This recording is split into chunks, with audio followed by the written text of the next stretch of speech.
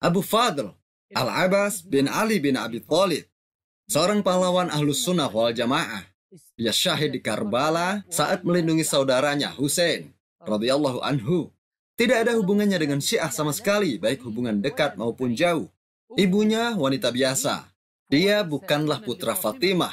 Syiah mengatakan bahwa mereka diperintah untuk mengikuti lima ahlul kisah dan imam 12.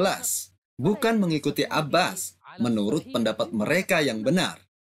Abul Fadl Al-Abbas bin Ali adalah Tuhan yang disembah dalam agama Syiah. Padahal dia tidak termasuk ahlul kisah. Dia bukan seorang imam. Mereka bilang, Ya Abbas, engkaulah Ar-Rahman, engkau maha adil, engkau Ar-Rahman. Dan dia jugalah peniup terompet. Na'udzubillah. Dan malaikat Jibril berselawat untuk Abul Abbas. Lihatlah, عباس فوق العرش ترتيلة ماي. عباس قبل الخلق مخلوق روحه. عباس يوم الحشر ينفخ بالصور.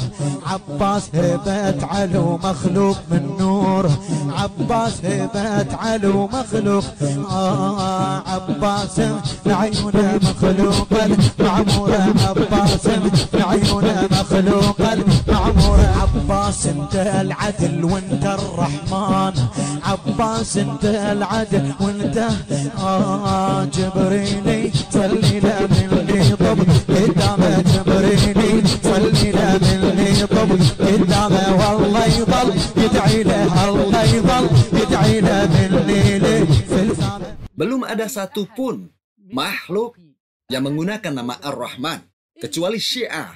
Mereka menamakan Al-Abbas dengan nama Ar-Rahman. Na'udzubillah. Orang inilah yang mengajarkan mereka bahwa Ar-Rahman bukanlah Allah, tapi Abbas. Juga yang mengajari mereka bahwa yang maha adil bukanlah Allah, tapi Abbas. Juga yang meniup sangkakala serta Jibril bersolawat kepadanya. Na'udzubillah. Begitulah yang diajarkan pada kaum Syiah.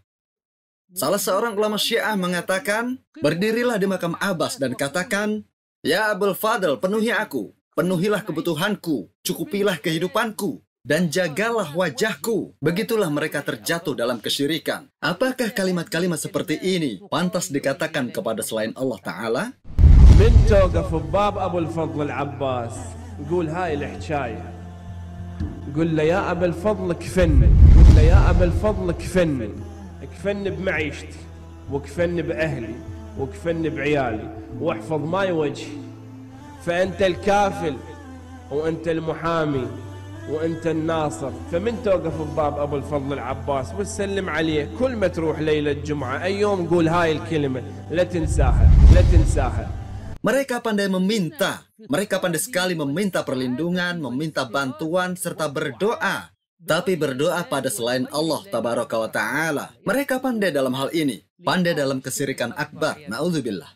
Dan kita juga tahu, Nabi telah bersabda bahwa bersumpah dengan selain Allah adalah syirik. Untuk itu kita tidak bersumpah dengan mengatasnamakan selain Allah.